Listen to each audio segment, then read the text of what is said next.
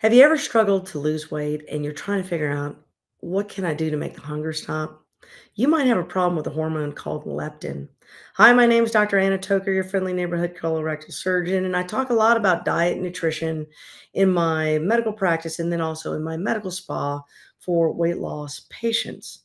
Leptin is a hormone that is created by the adipose tissue, your fat cells, and it tells your brain that you're no longer hungry the wheels can kind of fall off the train in modern life as we are exposed to stress, toxins, and a lack of sleep. All of those things interfere with hormonal pathways.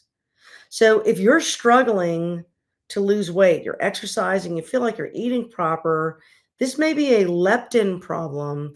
As of right now, we don't really have a good answer to leptin, but you can do the following, and this has been shown to naturally improve your leptin responses. First of all, get quality sleep.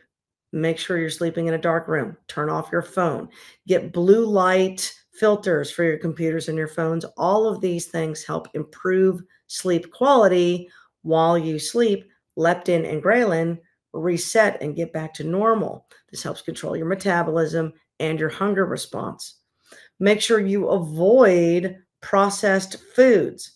Processed foods are made with a lot of artificial things, but they're also made with a lot of seed oils, including canola oil, which is a fat your body doesn't really know how to digest proper, properly. It has inflammatory molecules to it. And I know the label says, oh, it's good for heart health.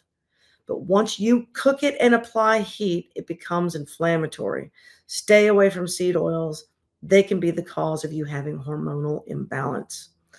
Make sure you're drinking plenty of water, making sure you're getting great exercise, diversify your, your diet to get a good microbiome base. All of those things will improve your weight, your quality of life, and yes, your body's response to leptin.